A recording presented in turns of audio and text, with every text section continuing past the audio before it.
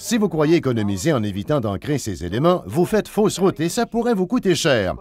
Ici, dans ce coin découvert, on peut voir trois blocs reposant sur la dalle de béton. On a même ajouté une mince couche de sable C33 pour bien niveler. Ces blocs sont ancrés. Y a-t-il un coût à cela? Bien sûr que oui, mais c'est moins cher que de refaire le travail.